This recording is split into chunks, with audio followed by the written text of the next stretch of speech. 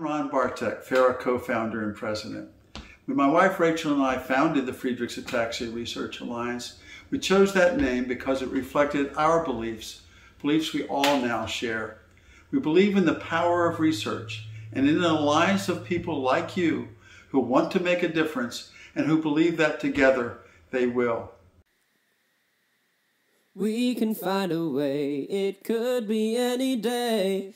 We'll cure FA.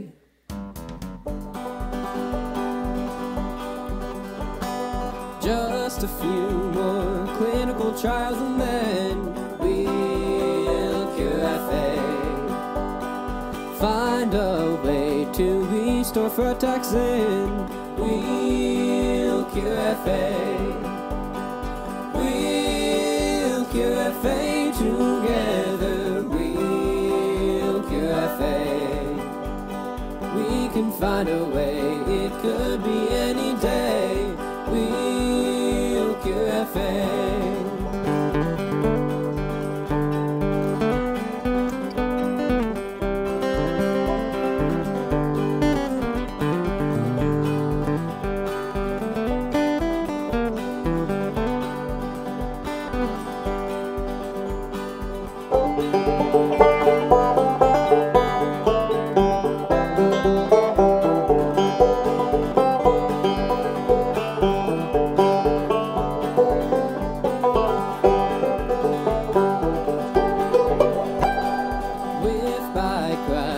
musical sway, we'll cure fame.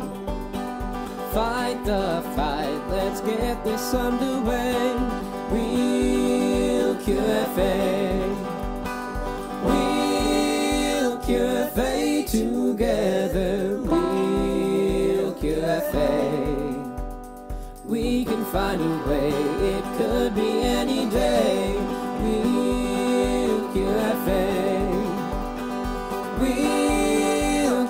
Fate together. We'll fate. We can find a way, it could be any day. We'll fate. We can find a way, it could be any day. We'll cure